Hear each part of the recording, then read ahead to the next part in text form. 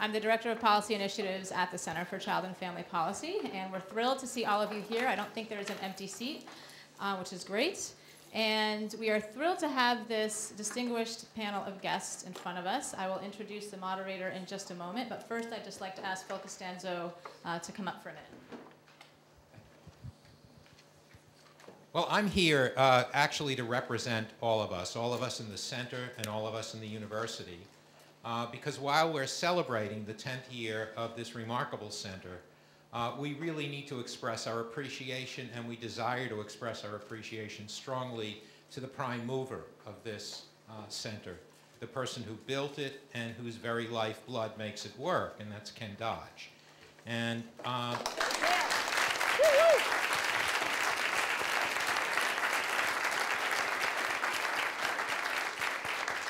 Now, I can, I'm not going to take a lot of time. There are much more interesting things to, for us to get to, but no, no more important thing. Uh, that I think that uh, uh, I remember, uh, I think it was about 12 years ago, sitting in a room with Sunny Ladd and Phil Cook and John Cooey, discussing who can take us forward at, as a university in the domain of children and families, for which we had wonderful developmental scientists here and there throughout the university and individuals interested in the venues in which children and families grow and the science that goes along with, with making those venues better.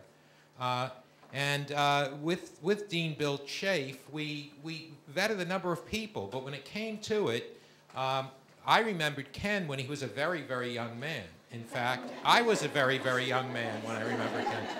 And, uh, and he was a graduate student here at Duke. And one of the things that Ken had was a combination of of attributes that said that he would be the person.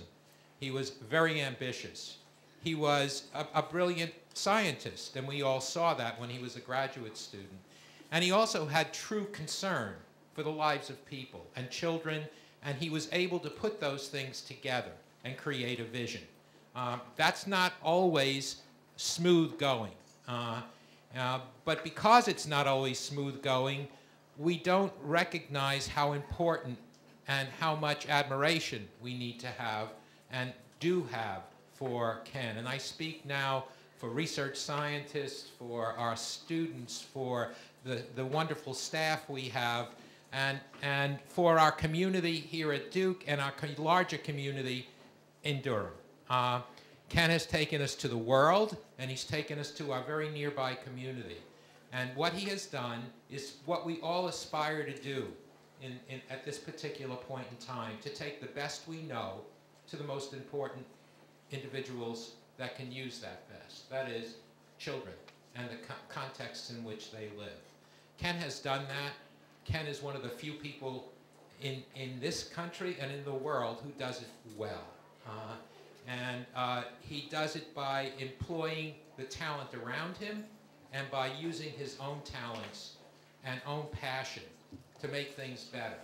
I would, I would implore each of you to recognize the achievements of Ken as a wonderful director of a center, as a wonderful scientist, and as a person who keeps moving through the advancement of our society as a humane and uh, uh, a uh, uh knowledgeable uh, place both.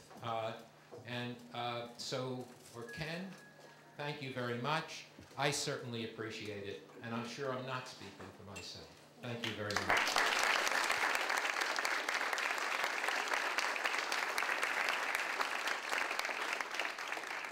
Thank you, Phil. And you know that was intentionally not on the agenda, but we'll get back to the agenda now. You're all here because you know that the theme for this forum is prioritizing investments in young children. And in particular, it's in prioritizing investments for young children in a time of very, very scarce resources. Um, it's hard to imagine that this is possible, but each of our speakers here, whom we'll be introduced in just a minute, will speak for about eight minutes. Um, hard to imagine given their incredible years of dedication and expertise to this issue. Um, they will highlight the priorities and principles for difficult decision making and offer their recommendations, importantly, offer their recommendations for addressing this challenge. Um, in the spirit of encouraging participation, they do not have PowerPoints. Uh, we will hold, if possible, hold your questions till the end. Um, and now it's my honor to introduce our forum moderator, Marguerite Kondracke. Marguerite Kondracke has been president and CEO of America's Promise Alliance since 2004. And as most of you probably know, America's Promise was founded over 10 years ago by General Colin Powell to make children and youth a national priority. America's Promise is currently focused on addressing the nation's high school dropout crisis, which I think is touching all of us, whether we have kids or were kids or no kids in one way or another, um, no matter what our role is. During her 40 year career, she's been both an entrepreneur and a public servant. Before joining the Alliance, she served as special assistant to U.S. Senator Lamar Alexander and staff director for the Senate Subcommittee on Children and Families. Can't imagine anything much more relevant than that um, for today's discussion. Um, she co founded and was CEO of Bright Horizons Family Solutions, the nation's largest employer-sponsored childcare company. Now, she told me not to read all this, so I'm almost done. She did want me to say that she's very happy about the current situation in the NCAA men's basketball standings, which was not something I was given, but I will add that at your request. Um, and for the past two years, she has been named one of the top 50 people of power and influence by the nonprofit Times. We are honored to have you here today. Um, I should say she's partly excited about the basketball standings because she is an alum of Duke, um, so we're honored and pleased to have you here today, and we look forward to a lively discussion. Thanks.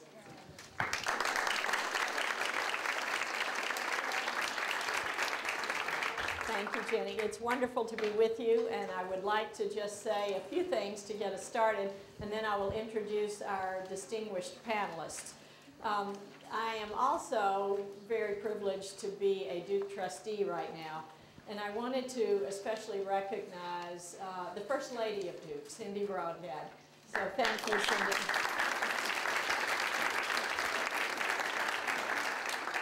I've been privileged to get to know her as I've gotten to know Dick, and she leads with grace and passion on behalf of children and families, and uh, the connections that Durham has with Duke, and I think that the university community is privileged to have you in service with your husband so thank you. I would also like to recognize, and they can actually help if there are follow-up thoughts and questions about America's Promise, Carmita Vaughn and Forrest Moore, if you'll raise your hands. They are here with me, so thanks for coming. They're both from Chicago, so they know all the secrets of Arne Duncan and then some.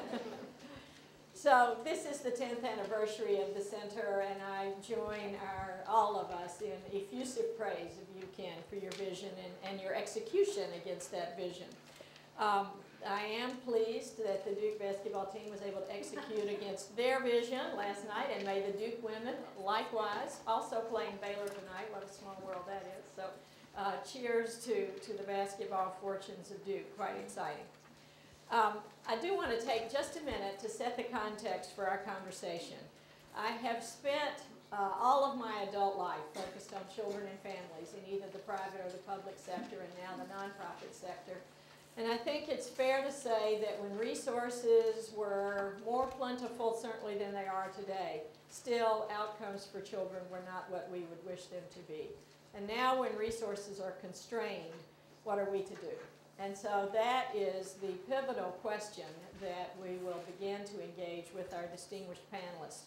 I do think that, interestingly enough, uh, a crisis does sharpen the focus, and I do think that the high school dropout crisis has captured um, the interest and has been an urgent wake-up call for the nation when we think about our children and their future, and therefore our future. When we talk about our children being our future, it's, it's truly a cliche for this group, and yet we, we need to remind ourselves and the nation and the larger community, we need to remind ourselves that this is more true than ever before. So I think we have a unique opportunity to help the nation as well as the policymakers appreciate the importance of investing in children. I do think the nation more or less is ready for education reform. I do think the nation truly gets it when they realize that this nation has uh, a threatened future at best when half the young people of color are dropping out of high school and a third of all students are dropping out.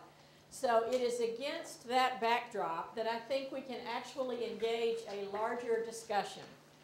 Um, it has never been more true that our children are our future, and it is certainly true today because we do live in such uncertain times. So we have over a million children dropping out of high school, but you can't start in the 11th grade, You can't even start with a great teacher for high school and ensure that we can change that dynamic. So we must appreciate that we have to start well before high school.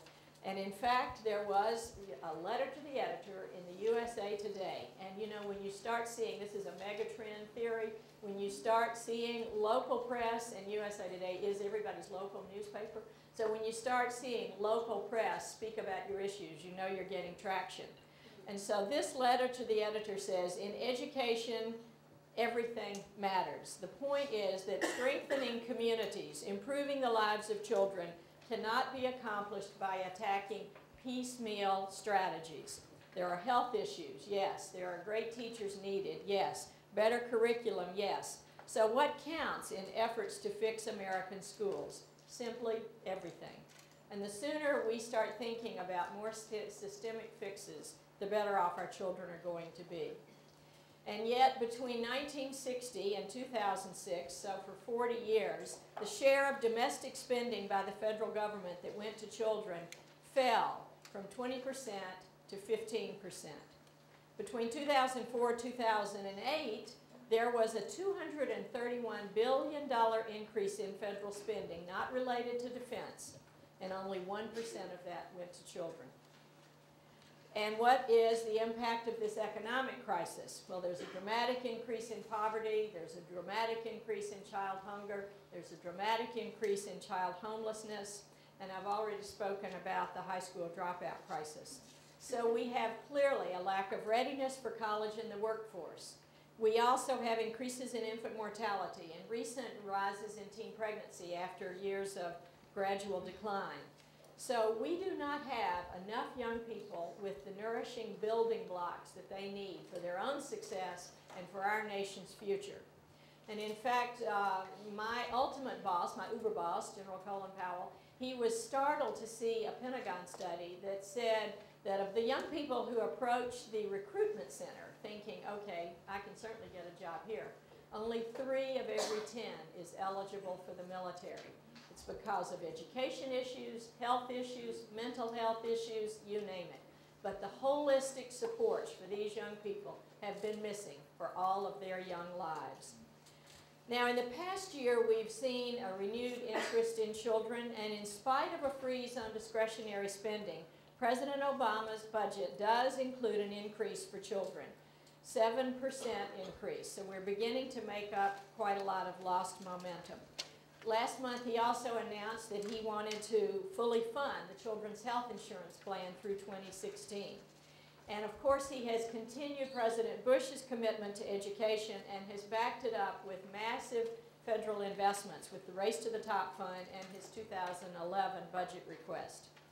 Yet, we have federal monies coming in, but the bottom is, uh, the drain is, uh, has been, the, the plug has been lifted from the drain in the bathtub, and all the state monies and the county monies and the city monies are going the other way.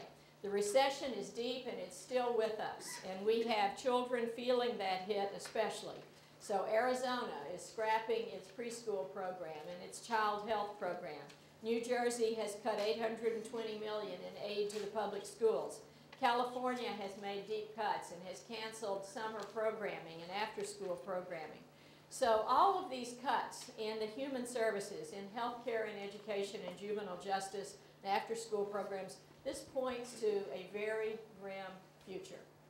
So the children are clearly taking the brunt of the fiscal crisis, and we do, I think, can, can use this dropout crisis as a rallying cry to help the average man on the street appreciate that we must focus on our children or our nation is truly at risk. So, with so many needs and so many issues before us, how do we prioritize the investments we make in our children? How do we attract those investments and get people to understand the importance of those investments in a time of budget shortfall? How do we inspire a sustained commitment to children? Um, in some ways, I believe this is a communications challenge as much as it is a policy and fiscal challenge. So we do have, fortunately, three people who are going to explain all this to us and give us all the answers and give us the roadmap forward. And if they don't figure it all out, we'll have Dr. Heckman this afternoon.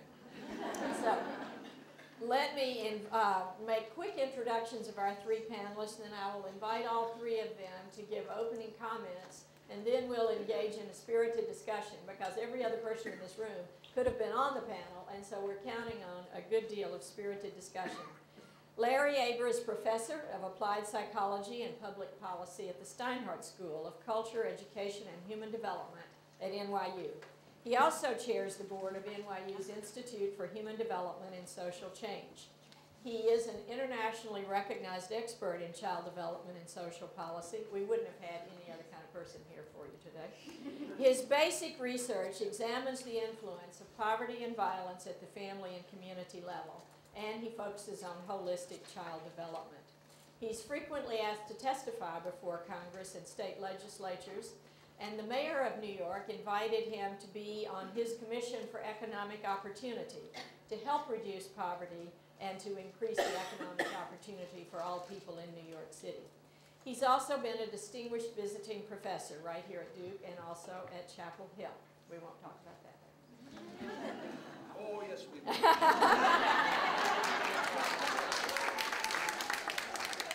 I forgot about Ron. I forgot about Ron. Ron is a, is a friend from Washington and senior fellow of economic studies at the Brookings Institution in D.C. He co-directs the Brookings Center on Children and Families, and he is nationally recognized for his expertise on the social welfare issues. He's been an advisor to White House and Congress on welfare issues and was instrumental in the 1996 overhaul of the national welfare policy. Before joining Brookings, he spent 14 years on the staff of the House Ways and Means Human Resources Subcommittee, and he has served as a senior researcher at the Frank Porter Graham Child Development Center at Chapel Hill, has taught and lectured and, uh, uh, at Chapel Hill, Charlotte, and I mean UNC Charlotte, and also taught developmental psychology here at Duke.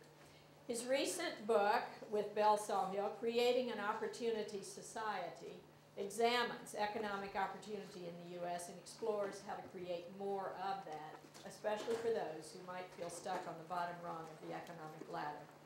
And finally, perhaps our most distinguished panelist, Governor Jim Hunt. Former Governor Hunt served four historic terms here in North Carolina, and he made his time count for children and families. He focused on early childhood development and improved the quality of teaching, led the way among governors to pick up the banner of better education and better investments in our children.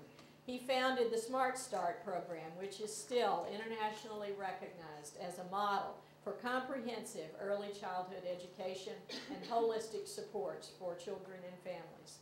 He's been recognized countless times and in countless ways for his innovative public service and leadership. He's currently uh, a member of the law firm of Womble, Carlyle, Sandridge, and Rice, but we won't hold that lawyering against you, Governor Hunt. He's also chairman of the board of directors of two institutes that he founded, the Hunt Institute for Educational Leadership and Policy in Chapel Hill and the Institute for Emerging Issues at NC State in Raleigh. So uh, it is a great privilege to have these three panelists, and I know everyone appreciates how lucky we all are, or the room would not be full to standing only. So thank you, and I will invite uh, Larry to go first.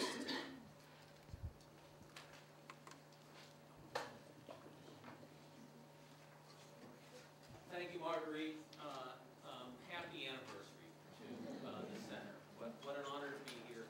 And um, uh, I want to sit down soon uh, so we can engage in the discussion. So uh, my comments today uh, really pick up where Marguerite's uh, left off, and that has to do with where we are in real time right now.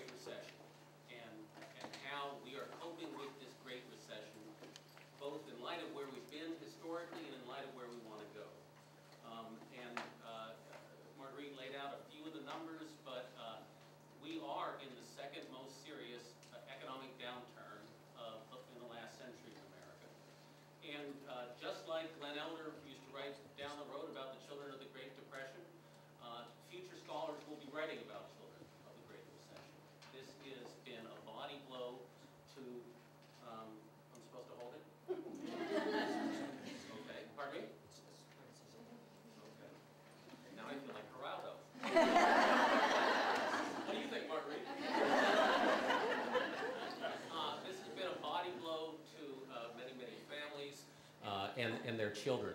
And uh, um, I want to begin uh, thinking about our nation's response by thinking about uh, the stimulus package. And most of you know that there was a highly contested stimulus package uh, that sent $787 billion into the economy. Um, was was uh, uh, the, all the rage and, and much discussion in the last year or two.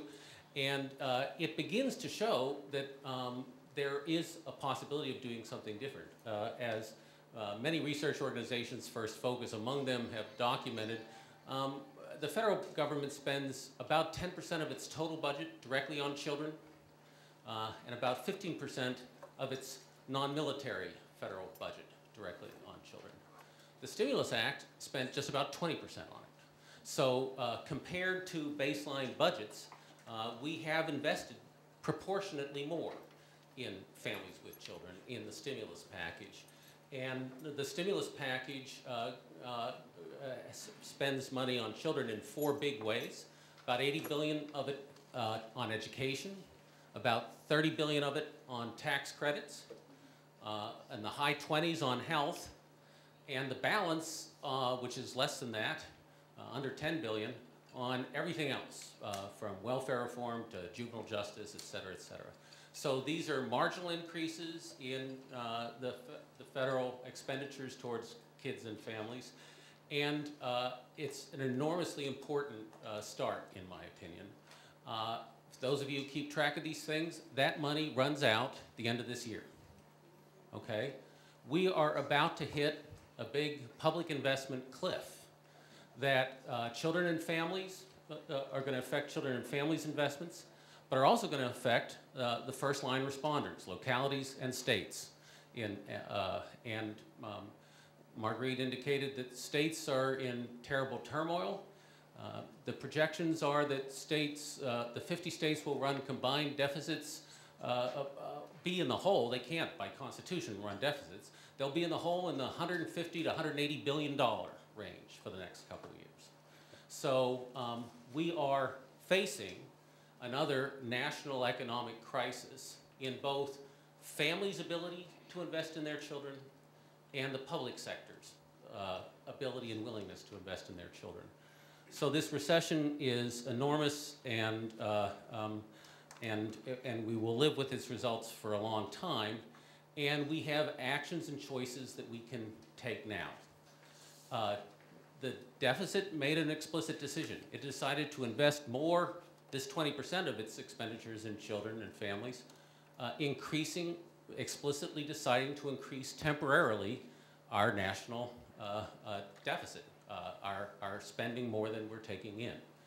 And there are really only three ways. I'm, I'm not a Nobel laureate economist, but I know enough economics to know that uh, if you want to spend more on kids, you either have to deficit spend more, raise revenues or take money out of the budget from other th things that uh, are you, you, you want to redeploy resources. And those are the three political realities. We either can continue, the, the, the fourth option is not to spend more now on kids and families. So I'm not in favor of spending more on ki kids and families. I think that's a bad idea. It's a bad idea. It's penny wise and pound foolish. We can talk about that more. I'm in favor of spending more.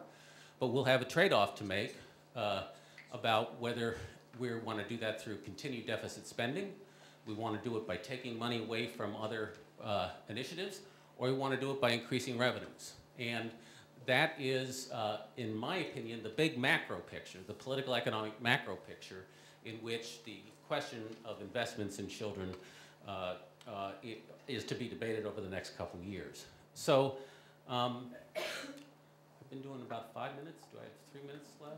No? Three minutes, okay. So, yeah, uh, I've never been accused of being able to keep time real well, but apparently I'm not too far off. So, um, so those are the, the big macro issues. Uh, I, would be happy to engage much more specifically. I, I, think there's a lot of good ideas about how to spend money uh, more effectively, and and uh, I agree with uh, some of Ron Haskins and Belle Sawhill's analysis in their book that on the longer term, we are going to have to, uh, uh, this from a guy who's about to turn 60, uh, take money uh, uh, relatively from older generations, and that's the worst way of putting it. Delay spending money on them uh, a little later is the better way of putting it. But there's got to be some kind of generational fix, okay?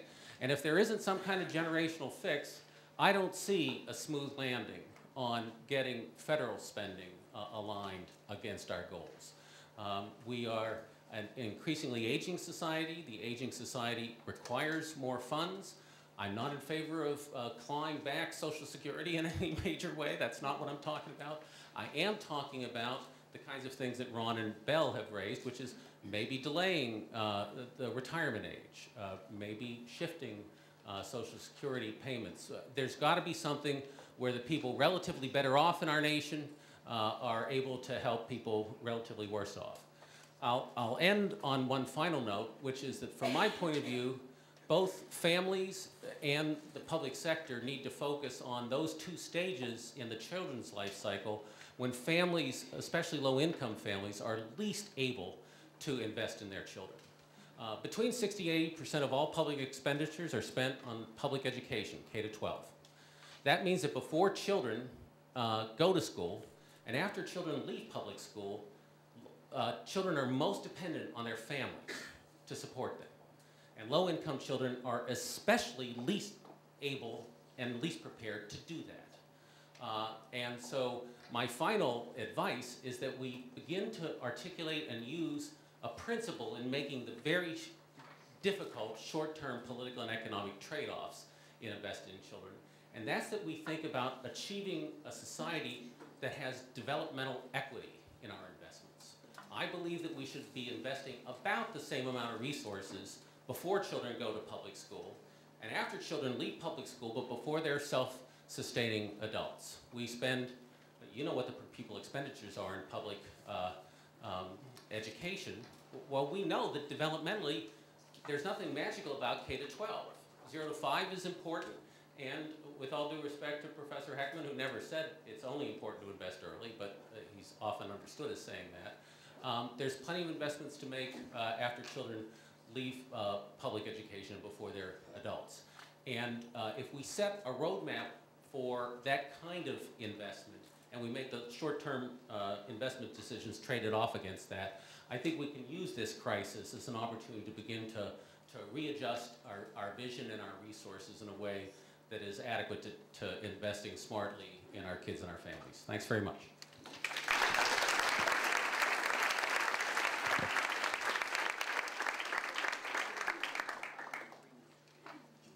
Thanks, and uh, we'll have Ron Haskins now. Thank you, Ron.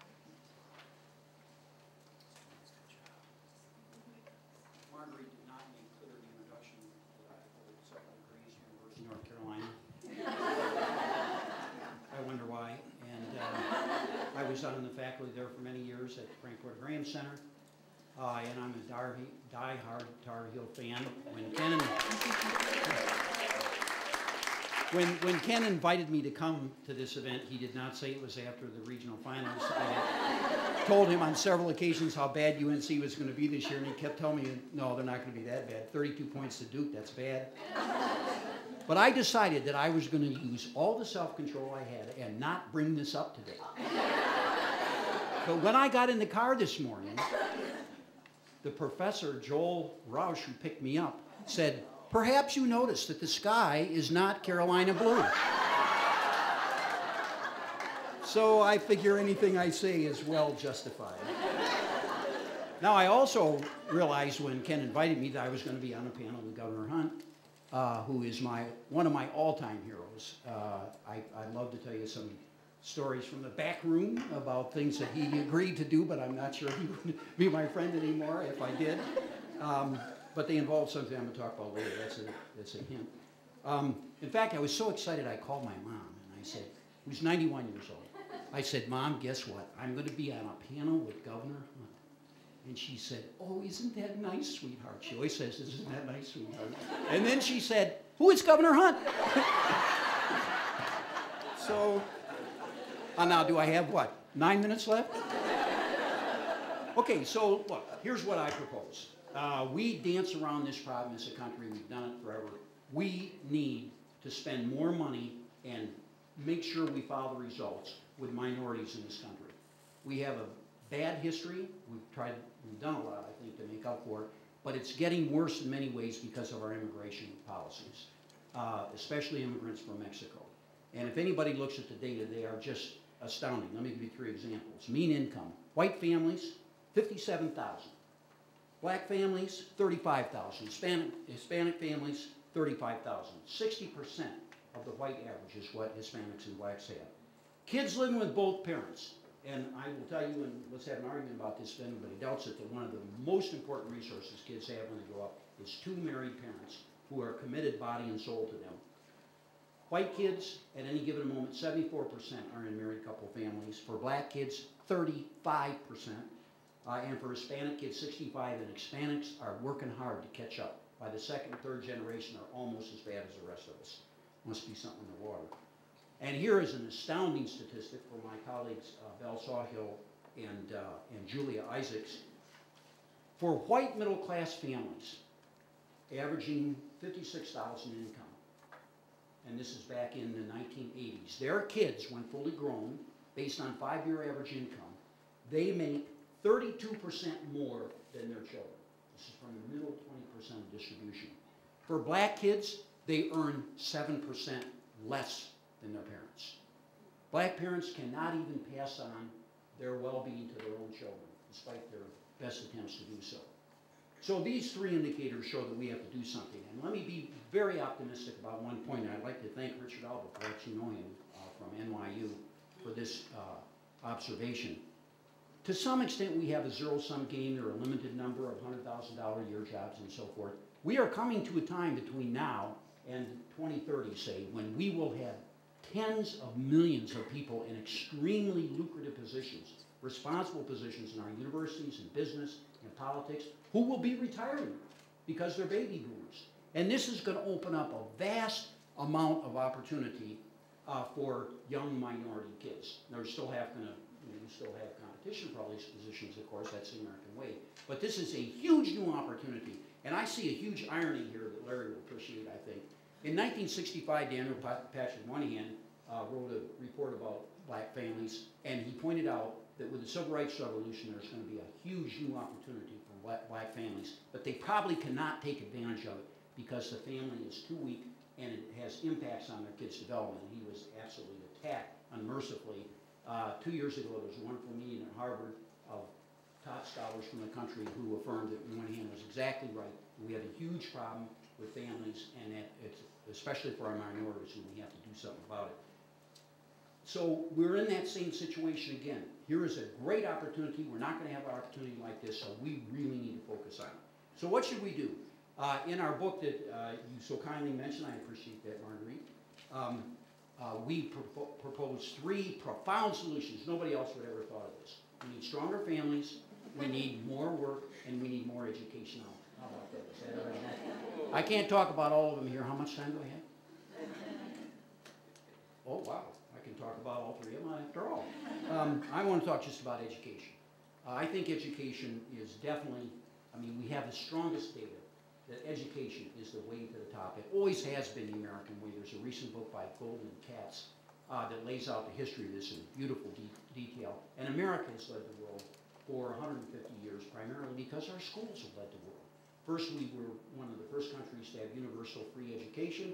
And then we had magnificent universities. We still have by far the best universities in the world, but we're losing ground in all these ways. And so we are really threatened uh, in our world position uh, and we may not be able to maintain our leadership if we continue in the way that we're going now.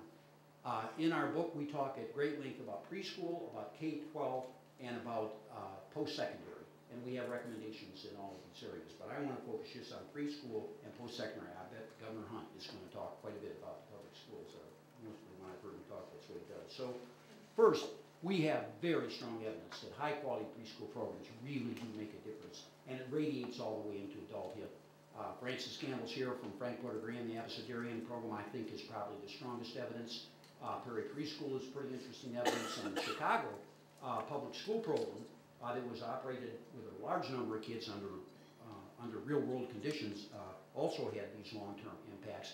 And I mean, in the abecedarian program, even rates of college attendance were boosted quite substantially.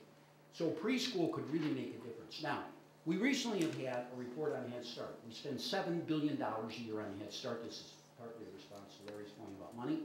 We have nine hundred thousand kids in Head Start, and I've been arguing for years it doesn't do the job. I didn't necessarily make myself popular, uh, but the new study from Westat shows at the end of first, of the first year in school, Head Start kids are indistinguishable from random, randomly assigned controls. That there is no way around. We need to redeploy that money. And one thing that we should do, by contrast with Head Start, state preschool programs, forty states now have preschool programs, maybe soon be thirty-nine, uh, if Arizona goes the way that Larry, uh, indicated. Um, and maybe some other states are gonna be hurt as well, because they really are in desperate shape. Uh, so we need to give, and state preschool programs have random assignment evaluations and other types of evaluations, so they're doing quite a good job, much better than Head Start. So I think we need to give more control to the states of Head Start. I'd start right here in North Carolina, because the preschool programs here have been good ever since Governor Hunt launched them on a, on a widespread basis. And I'll bet if you got him a room, got him alone at night, and he had a scotch or so, he might say, "That damn Head Start, we never could coordinate. So in some states, Head Start has been cooperative, but in many states it has not been. A key is to give more control to the states of the money that we're already spending. This addresses the problem that Larry brought up. Uh, so we have to first make efficient use of our resources. Now let me say a few words uh, about uh, post-secondary uh, education. This is really, if you look at the numbers that I uh, passed out, on one side it shows all those lines. What those lines show you, I think most people know, and that is that education directly determines, is directly correlated with income. But what, if you look at it carefully, you will also notice that essentially only people with a college, four-year college degree and professional graduate degrees have increased their income in the last three decades. It's astounding. High school dropouts, their income is actually declining. so not only do we have these big differences, but they're moving in the wrong direction for everybody except people who have a four-year degree or above. And again, the Goldin Katz book explains why that's the case. There's a good reason. It's because of changes in our economy. So we simply, and then if you turn that over, that's a very complicated figure, but I just want to make one point for you. On the left are kids who did not go to college. On the right are kids who did go to college. And the sections of the bar graphs are the parents' income. So the bottom, second, and all the way up to the top. Now, if you look in the left, uh, on the one on the left, on, on the left-hand side, and look at the bottom, that tells you that 42% of kids from parents who are low income stay in the bottom uh, 20%. 42, if it were a chance, would be 20%, so it's more than twice as much. Um, if you look at the top, you'll see that only 5% of kids from the bottom make it to the top. Now look at the same, uh, the same segments on the right-hand side. Think of this. A kid from a low-income family, from the bottom 20% of families, who gets a four-year college degree, increases their chance of making it to the top by a factor of four. Now, I know there are a lot of researchers in this room. Tell me about any intervention that where the exper- experimental group is four times as high as the control group. It just doesn't happen. We simply have to get more kids into college. We lay out a number of complicated steps in our, in our book, and let me just mention a few of them. Here's one idea I love. I'm gonna give two ideas, right? The first one is, the IRS should send a letter based on earned income tax credit, they know who low, low-income families are, when kids are young, and say to parents, guess what? You might not think your kid can go to college, but we are gonna, because of the public financing available in the United States, your child is, el- would be eligible for approximately, and give the number, it'll shock them. And it'll happen early, I think it will completely change their attitude about their, uh, uh, child going to college. We've, the administration's already done a magnificent job on the Pell Grant, we're expanding it. We haven't expanded enough, it still has not kept up with college costs, which are way above inflation, so we need to expand the Pell Grant even more. And finally, the area where I think we're the weakest is we need to do a lot more, uh, once kids get to college. Low-income kids get to college, the dropouts rate are completely astounding. Uh, and both blacks and Hispanics have lower entry rates and even lower, higher dropout rates, so lower graduation rates, so it's a huge problem. And let me end, uh, fortunately, uh, Larry knew I was gonna be out of time, and so he brought up how I wanted to end, which is, we need intergenerational transfers. The last chapter in our book explains in great detail, we do not have to cut spending on the elderly. Indeed, it will increase substantially. But we just need to slow the rate of increase in spending on the elderly. There are lots of ways we could do it that would not damage Social Security. and would not damage Medicare. And we need to invest that money in the kids. Invest in the kids, mostly in the minorities. Thank you.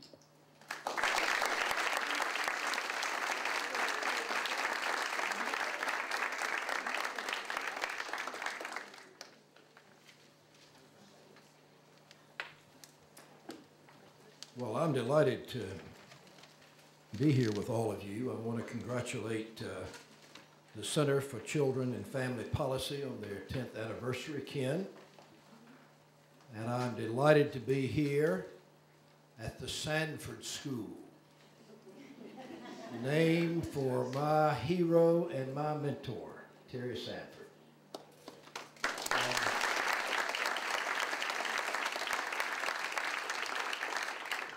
That Ms. Brodhead is here. Uh, I served with her husband on the Carnegie Corporation Board in New York and learned a lot from him. But I'm also pleased to be here with all of you because you care about all of this. By the way, Jenny Owens was the head of my policy office when I was governor. You can believe we focused on all of this stuff.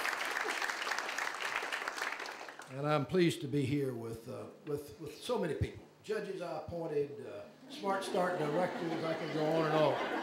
You're all over the place.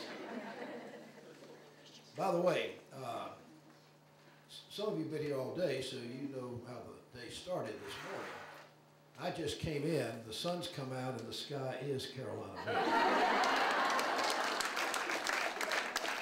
But we're all for Duke at my house, where both parents and all four children have a Carolina degree. We love the men. Sumner's got to get going if we're going to win it. But you know who we love? The women. The Duke women. You ever see anybody as fast as that Thomas gal? They are terrific. By the way, my wife went a year to Northern Iowa before she transferred to Carolina. That was the best game, wasn't it? The whole tournament. But I am I'm really pleased to be here because you are talking about something that I care a lot about. And I hope all of you are going to hear Dr. Heckman this afternoon. Um, in 1992, and, and to some degree before that, um, we were really all focused on early childhood. I remember, you know, I got onto it here in North Carolina, and I know, learned a lot before then, but particularly then. That's when we started Smart Start. Uh, the person who succeeded me as governor added More at Four. That's great. Uh, I remember the governors getting excited about it. Governors' conferences in Vermont and uh, out in St. Louis, Missouri, where my fellow governors uh, were a little behind me, but coming along. Uh, we're beginning to get all of this. George Voinovich, uh, fine then governor and then United States Senator from Ohio, and Lamar Alexander was a great leader as he was on every, everything Marguerite. Um, we focused here with Smart Start on birth to five. Birth to five, maybe pre-birth to five. That is absolutely the way to do it, what we have to do if we're going to be successful. I would say with the children in Smart Start, we are about half funded. We got up to about $300 million a year that the state was putting in, one of the largest amounts in the country. Uh, it ought to be about double that. Um, we set up, for those of you who don't know about Smart Start, we set up uh, a nonprofit 501c3 corporations in most every county. Some of the count, small counties went together. I, I sometimes call that partnership board, or the Smart Start board, the, the, uh, school board for little children. Because all the people are on that, on that board. They're all sitting there at the table, figuring out how we can help our little children. Now, you got a lot of smart people here, great researchers, all of you students here at the Sanford School. The person you really ought to talk to today is the director of Smart Start from my home county, Wilson County. Jim Hawley, stand up. You all want to talk to him, stand up. He's, he's, his wife Nancy is there with him just as good as he is. Uh, but he's down where the rubber meets the road, folks, where you're having to try to figure out how to do all this. And the great leader here in Durham's been celebrating today. Uh, what a great job they do. So we've had, a- we've had some progress. When I was governor for my last eight years, I wore out the legislature talking about Smart Start. I mean, I had people come up and say to me, I am sick and tired of hearing you talk about Smart Start and all those little children, their little minds. You know what? I kept doing it. And I still give them a slug of it every once in a while because they aren't getting enough. But let me, let me give you some suggestions about where we are and what I think we're going to have to do if we're going to really be successful. And this comes sort of from a political perspective and an economic perspective. Uh, first of all, I think that further real and terrific progress is going to require that we tie, we tie more persuasively uh, our early child efforts to K-12 education. You know, I love the little children. And I want them to be treated right. They're God's children as well as our children. But if you want to get the, the public leaders to put the kind of money in, give the kind of emphasis that I think we ought to do in the earliest years, they've got to see that it's going to contribute children in the public schools or in all the schools. Learning, being at grade level or above, graduating, being college ready, and being very good competitive workers in the global economy. Now, some of you are sort of looking at me like, what is that? Why is that important? It's important because a lot of us who think in this area and work in this area have talked about child care, and it is care. But we've got to be talking about education.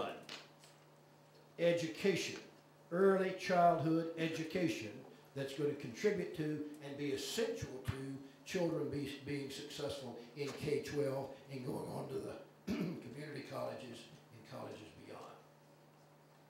That's essential, folks, if we're going to go further now. We've gone as far as we can go without making that connection and using the right terms and explaining to legislators and the private sector that this, we've got to have this in order to get that, in order for President Obama and Arne Duncan's programs to be successful. And I think they're on the right track, but if you don't have this, they, they will not succeed. Uh,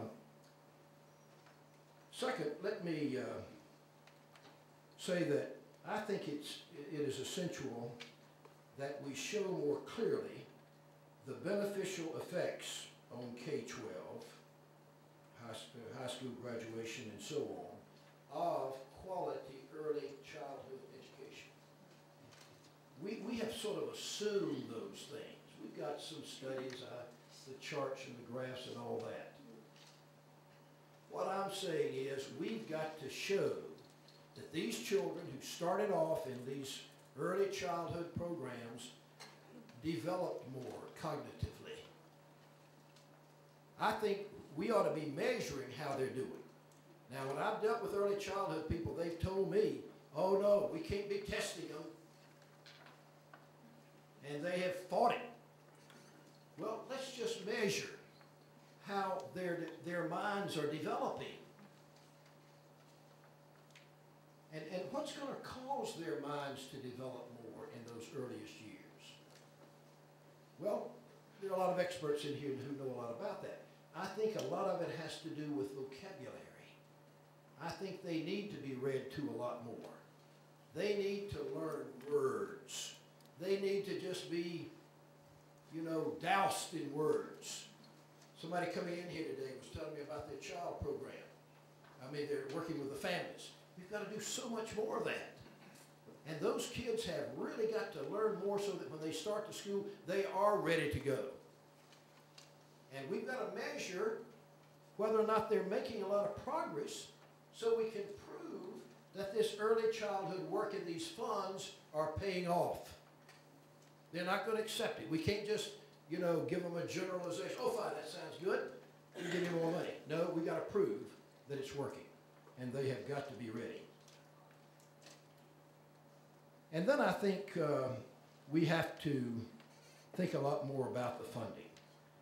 Uh, This is basically a state initiative, most of the funding except the Head Start, and I agree with everything that uh, was just said.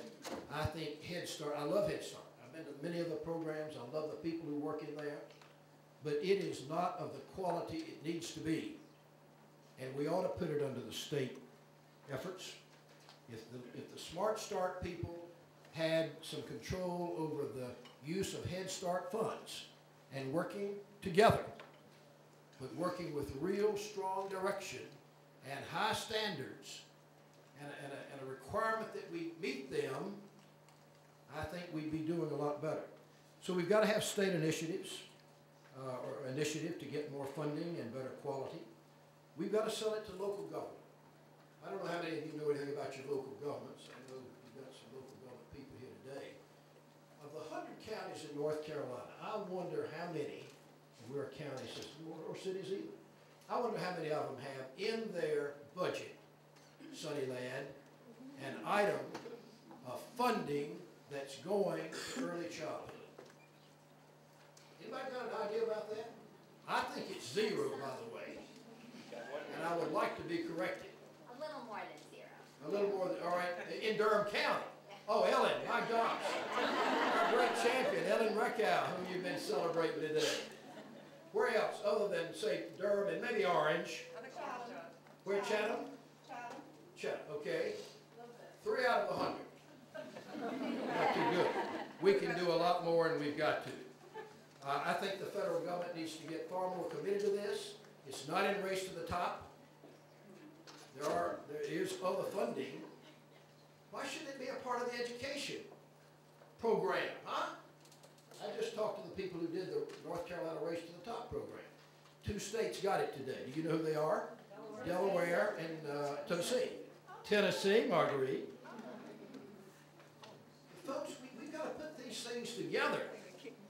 It's all got to be seen as education. You do it differently in the early years, of course. But we have got to see this as education. We've got to see it as preparing that workforce and making us globally competitive. And finally, the private sector has got to, has got to really be behind it and involved in it. Uh, I spoke to our wonderful Marcia, the, uh, the program here in Durham County, the Smart Start program. You ought to see the logos of the businesses that support it. I remember in Caldwell County years ago, every business in the county was a partner of Smart Start. Every single one of them, hundreds.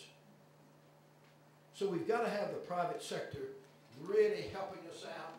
They can get government to do things. They can get churches to do things, synagogues, all kinds of things. But the private sector has to believe in it. I remember a crucial time when we were selling Smart Start and had to get the money. And we had to have a ten percent match. I had a meeting, I used, I used to have a business council. All the big business CEOs met with me four times a year. An evening and the next day, part of the day. I got the five biggest businesses in North Carolina at a table, just like this one. And I said, fellas, they were all men. They weren't doing as good as they could have been. I said, fellas, I've got to have two million dollars apiece from each of you. I got it. But the big thing wasn't the ten million. It was Bank of America, now Wells Fargo, IBM, all of those people ponying up and saying, we believe this is important. We're behind it. You, legislature, you help with it. You, county leaders, you help on it. All kinds of businesses. This is critical. We've got to keep doing that, but we've also got to measure how well we're doing, and we've got to get Americans really committed to doing this together. Thank you.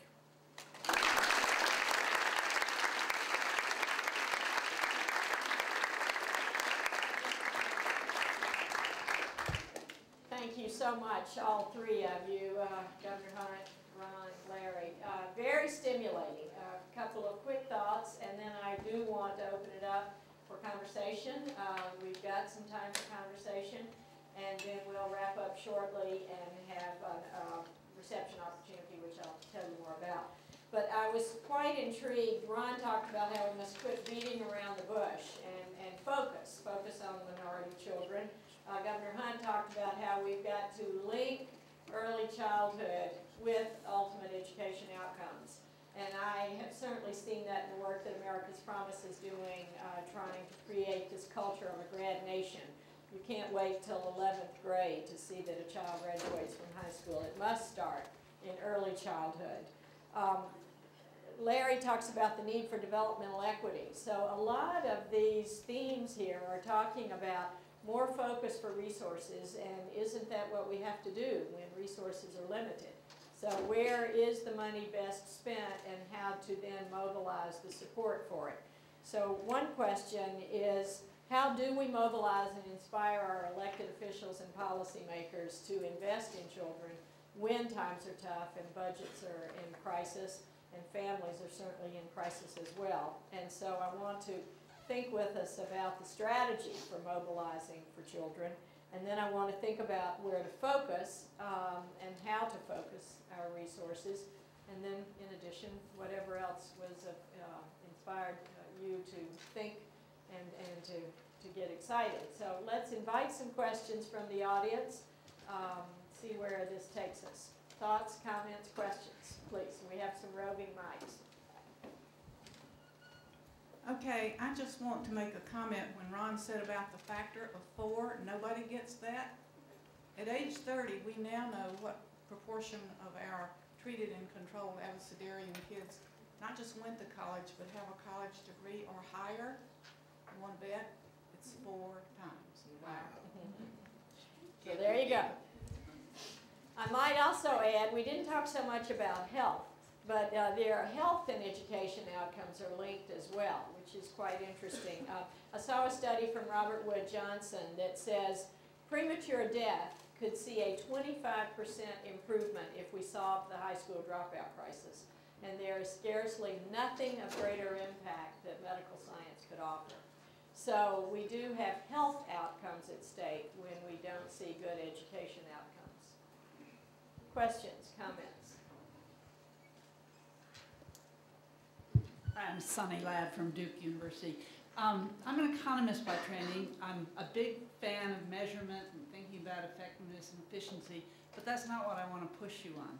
I spent the last spring of last year in the Netherlands um, looking at education policy there. And what struck me was the very different culture and values in that country. It was just a standard notion that we don't want to leave any group behind. And it, regardless of what we measure or not, it's, it's just really important that all kids have access to health care early on and as they go through the system. And the Dutch have set up lots of community schools and all sorts of things. They don't actually know whether these work, but it comes from this cultural belief that they just don't want to leave people behind. So I guess this is a question for Governor Hunt. How do we change the culture in this country to do what's fair or sort of appropriate for society? Well, I think you've got to, you've got to have some sort of benchmarks. You're helping them to do what? Just because you love them and care for them and they're entitled to it? That's enough for me. It's not enough for the legislature of North Carolina. Sunny, I, you know, I, I admire you greatly. And, and I'd, I'd be more interested in, in what you're thinking about. But, but we've got a lot of people in this country who don't have the kinds of feelings for those children that you saw there. You can you get the Tea Partiers to do what you're talking about? and a lot of people who aren't that far off, I call it off, but, uh, but you see what I'm saying. I, I, I, I want to prove, listen, I want to, I want to show people that this is the smart thing to do for all of us, for our economic growth, for our jobs, for our future. And I think, so, yeah, let's, let's do all the things I think, uh, I'd like to learn from that and see, you know, if we can do it better. Uh, and why that's working there to the extent that it is. But I'm not sure that's gonna work here. I want evidence that the investments we're making and the kinds of approaches we're, we're saying we ought to be taking is working so that we'll have every child starting to school healthy and ready to learn. We don't have that by a long shot today. If we have that, then I think we got a shot at getting them all to graduate. And the president's uh, goal of having the, what is it, highest college graduation by 2020? But I think we got to measure and we got to really focus on having all of them ready to learn when they start. I agree with everything the governor said, of course, and if I didn't, I wouldn't tell you. Um, Here's one way we'll know when, I don't know about culture, but when our political culture is taking this problem seriously, that we will have highly qualified school teachers in the inner city. That is the single biggest thing I believe. We've got to do preschool as well. But we've got to have a system in which we have our best teachers, our very highly qualified teachers in our city. And the only way to do that that I can think of is to pay them more. And when legislatures commit to that, then we're making progress. And poor rural areas, I can take you some places in this state as poor as any inner city in America. And Governor Fewer Hunt, people. I want to, Fewer people. Governor Hunt, I want to pick up on that very point. Um, Arne Duncan has uh, picked up on research done by Dr. Bob Balfanz at Johns Hopkins, highlighting that 2,000 high schools account for half the problem among youth of color in terms of dropouts, the lowest performing schools, and they are in every state. There are clusters in urban cities, but they are also clustered in the southeast. So we do know that the lowest performing schools are right here in Durham. Uh, Southern High School, which is the featured school for the East Durham Children's Initiative. So uh, one thought on focusing our resources is to take those lowest performing schools and look at the ecosystem that surrounds those anchor high schools. What do the feeder middle schools look like? What do the feeder elementary schools look like? What are the resources those children have or don't have and those families have or don't have? And that is a great place to start. In a time of scarcity, we could focus our resources on those families that feed those lowest performing schools. And that, Ron, is part of your not being afraid to call out, that we've got to start focusing our resources where the need is greatest if we're gonna have the macro impact that we all seek in this country. We don't have time for incremental solutions. And I think that's what worries me the most. We don't have time to improve our children's outcomes by one percent a year for the next ten years. We need macro impact. So we must focus where the need is greatest.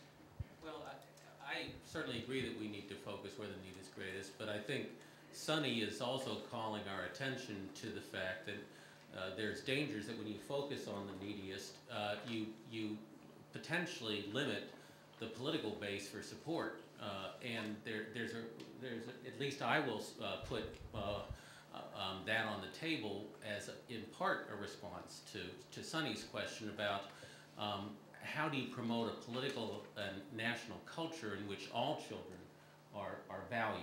And that, and, and uh, so targeting is right scientifically and economically and strategically, but it's got to be targeting within some kind of vision of universalism and of, of a common nation and the communication strategies associated with that because those 2,000 lowest performing schools are, are the last production point in uh, a, a set of uh, communities that have created those. I, I, I don't think we can focus only on those 2,000 lowest performing schools for the reasons that Grad Nation describes. And, and so I'll just mention two other things, which is um, there is actually remarkable academic work now going on about how public attitudes are developed uh, in different areas. And, uh, and the, the, the cognitive heuristics associated with taking different kinds of political and ideological positions.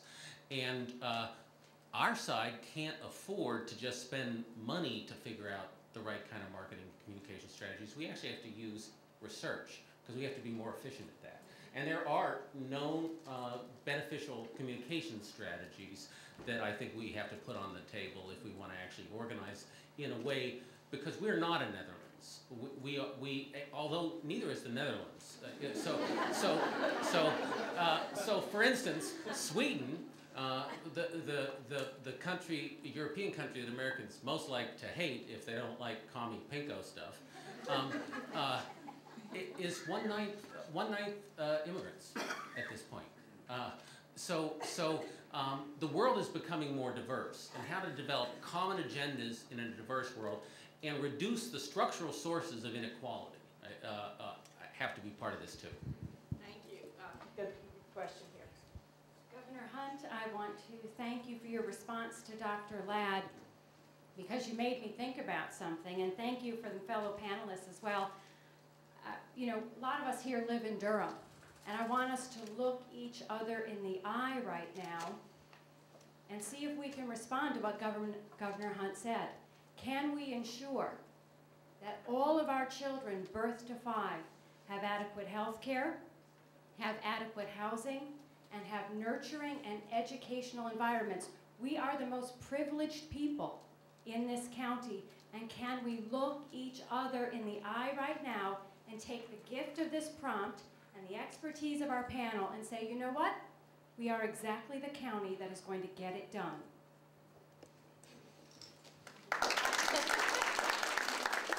And, and Grad Nation campaign wants to hold up Durham as a model to the rest of the country. I do think you have the, uh, the, the tools and the strategies right here and the will, the willpower.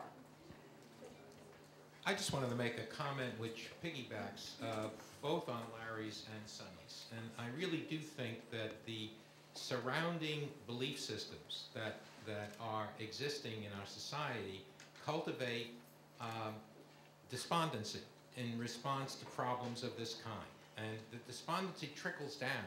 I think the Ron Haskins' point about, about not paying our teachers, about teachers themselves being despondent about the outcome, that the attitudinal problems go beyond simply having positive attitudes toward children, but actually having a sense uh, that we have in many other regions of our, our, our uh, country, and that is that you can do this. Um, and I think we've come to the place where we don't believe we can. Uh, I think demonstrating we can is very important, but I also think, given what we know about the social science of attitudes, how they spread, what the nature of contagion is, how one alters a system so those attitudes shift, so individuals become more future-focused rather than present-focused and are able to, to not engage in hyperbolic discounting with regard to making choices in the system, I think that's terribly important. And I think the attitudinal dimension of this is, has to be part of the policy package. Um, uh, it needs money, you can throw money at it, it needs programs, they have to be well constructed, but you also need attitude shifting. And how one does that to create a political base for change in Durham or anywhere is really critical. Um, I'll stop. Uh, we have time for two more questions. Yes, sir. Um, I know we all will have our unique perspective on how's the best way to deploy resources towards this, but uh, Governor Hunt, I was struck by your suggestion that we should douse children with words to help them have better vocabulary. I study uh, infant cognitive development, and I'm just curious, where in this process do we fit in research that will help us determine what is the best strategy? Because it also might be focusing on specific words rather than dowsing. And I don't mean to, I'm not taking you to task, but where does the research fit in to develop the curriculum, to tell the teachers what to do? Actually, I, I, I was afraid you were making fun of my word douse. I'm trying to think of the right word. That's not it. But uh, you figure it out. no, really. Okay. Uh, I agree At- with you. At, at Frank Porter Graham, we have a group that's working right now Right. on looking at children, infants, and toddlers and trying to come up with Right. how does developmental science translate into Uh-huh. the best, most efficient Yeah. practices to accomplish these goals. That's exactly what we ought to do. Okay, well, let's talk about that. And then, by the way, by the way, these teachers that we are working hard to make better through the efforts of Smart Start and, and all of the things we're doing, we gotta do so much more. Uh, we gotta know what are those words. And we gotta help those parents who may not even know those words, learn those words. Right. And we've all got to be using them everywhere these kids are, even the coaches maybe. Because we've got to do a lot more with our athletes. In, in any event, hey, we can do this. You're talking about attitudes? We can do this. This is America. We've got great leaders. A lot of, most of them are great.